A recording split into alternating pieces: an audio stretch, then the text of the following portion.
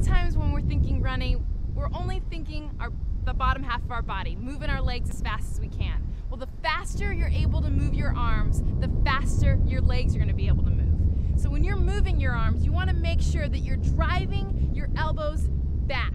A lot of times when people are running wrong with their arms, they're just running with their arms up here. The more you're able to drive back with the arms, the more you're going to be able to get your toe up, knee up in front, the more efficient you'll be able to run. And again, the faster I'm able to move my arms, the faster my legs are going to move, and the faster I'm going to be able to get to the next base.